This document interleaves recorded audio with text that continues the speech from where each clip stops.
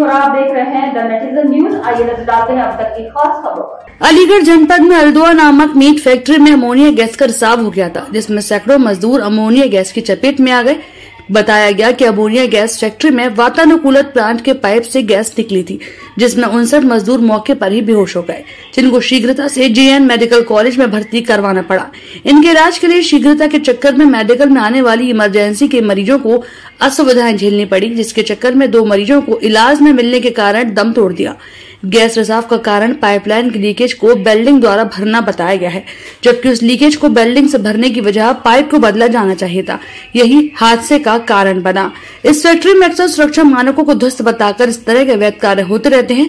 जबकि अग्निशमन अधिकारियों को एवं प्रदूषण विभाग को इस फैक्ट्री में समय समय पर जाँच करती रहनी चाहिए, लेकिन ये विभाग सभी सोते से जगते हैं, जब कोई भयंकर दुर्घटना फैक्ट्री में हो जाती है। हादसा होने की जाँच और कार्रवाई करने के संबंध में महोदय फैक्ट्री में हुई दुर्घटना के संबंध में फैक्ट्री मालिक हाजी जहीर को छोड़कर सभी अभियुक्त गिरफ़्तार हो चुके हैं, लेकिन फैक्ट्री मालिक हर बार इस बार भी फरार हो गया।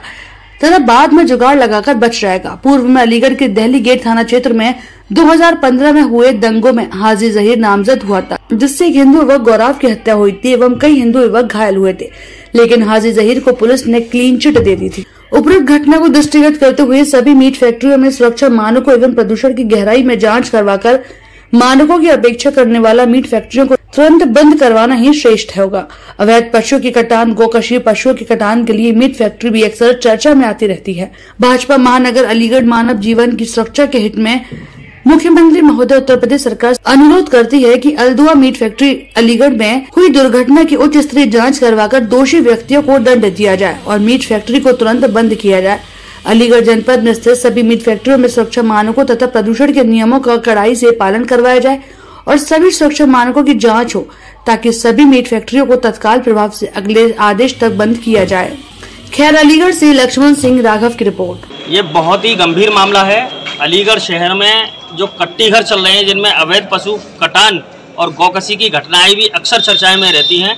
कल एक घटना हुई है अल दुआ नामक बीट फैक्ट्री है। उसमें अमोनिया गैस के रिसाव हो जाने के कारण उनसठ लोग बेहोश हो गए और अगर समय से उनको मेडिकल में नहीं पहुँचाया जाता तो उनकी मृत्यु हो सकती थी।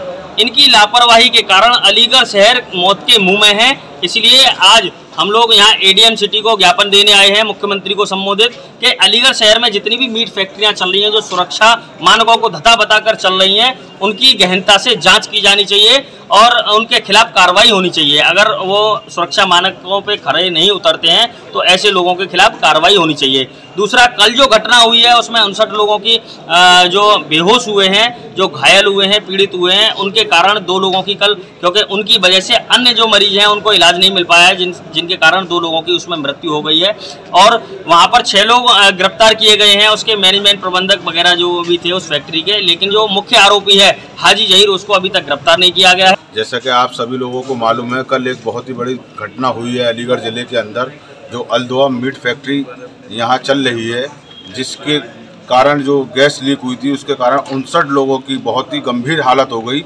और उसको देखते हुए आज हम कलेक्ट्रेट में, एडीएम सिटी साहब को मुख्यमंत्री जी के ज्ञापन देने के लिए आए हैं। ये मीट फैक्ट्रियाँ जितनी भी यहाँ चल रही हैं, इनकी पूरी तरीके से जाँच होनी चाहिए और जाँच होने के बाद इसमें कोई भी उसमें ऐसा कोई पाया जाता है तो तत्काल इसको बंद कराया जाए और जो मुख्य आरोपी है इसका हाजी जहीर उसकी गिरफ्तारी सबसे पहली होनी चाहिए।